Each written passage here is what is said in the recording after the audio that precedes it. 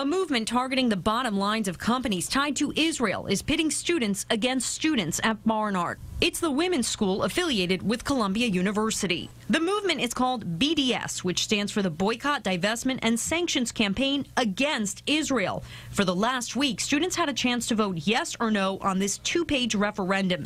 It highlights eight companies, including Caterpillar, Boeing, and Hewlett Packard, and explains each one's ties to the Israel Defense Forces. It asks students to decide whether Barnard should divest its endowment funds and stocks in those companies. Companies like Caterpillar, which make like heavy machinery that here is used for like general construction.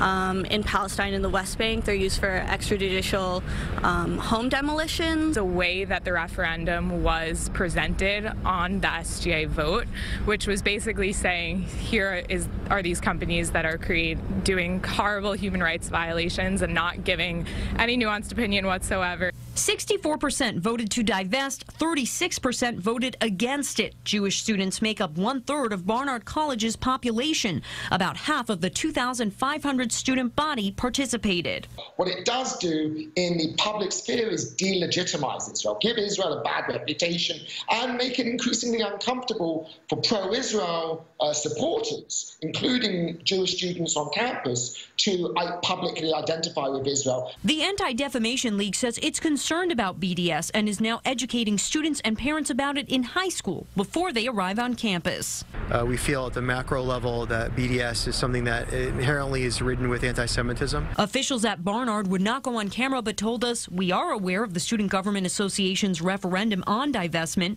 but we have not received a formal request. As with any student referendum, which is a valuable expression of opinion, the outcome does not compel the college to take a specific action.